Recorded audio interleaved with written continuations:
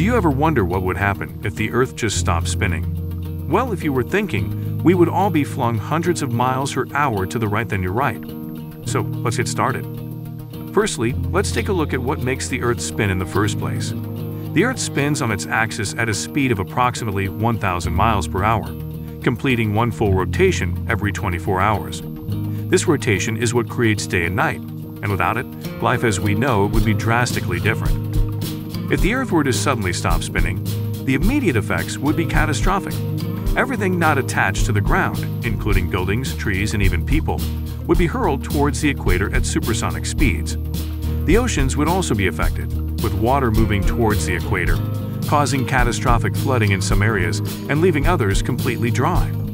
The lack of rotation would also affect the Earth's magnetic field, which is generated by the movement of molten iron in the planet's core. Without this movement, the magnetic field would weaken, leaving the Earth more vulnerable to solar winds and radiation. As time passed, the effects of the Earth's stop rotation would become even more drastic. The side of the Earth facing the Sun would become incredibly hot, with temperatures reaching up to 200 degrees Fahrenheit, while the side facing away from the Sun would become extremely cold, with temperatures dropping below minus 100 degrees Fahrenheit. The lack of rotation would also cause a significant change in the Earth's atmosphere. The winds that are created by the Earth's rotation help to distribute heat and moisture around the planet, but without them, the atmosphere would become stagnant and lifeless. In addition to the immediate effects, a stopped Earth would also have long-term consequences for the planet's geology. The movement of tectonic plates, which is driven by the convection of the Earth's mantle, would slow down and eventually come to a stop. This would cause the plates to thicken and stack on top of each other, creating massive mountain ranges and altering the shape of the Earth's continents. Another effect of a stopped Earth would be the loss of the planet's gravitational bulge, which is caused by the centrifugal force of the spinning Earth. Without this bulge, the ocean currents would slow down, and the water would start to migrate towards the poles. This would cause a shift in the Earth's rotation axis and could potentially lead to a change in the planet's climate. Furthermore, the loss of the Earth's rotation would also have implications for our concept of time.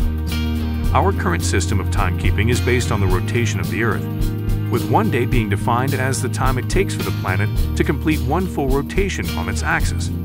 If the Earth were to stop spinning, this system of timekeeping would no longer be valid, and we would need to develop a new method of measuring time. So, what would happen if the Earth stopped spinning? It's safe to say that the consequences would be catastrophic.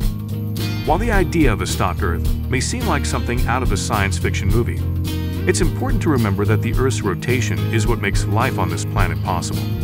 So let's be grateful for the spin and keep our planet moving forward. We hope you found this video informative and helpful.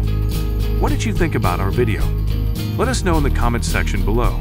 If you're new to our channel, be sure to subscribe and ring that notification bell to get notified about our latest videos. Thanks for watching,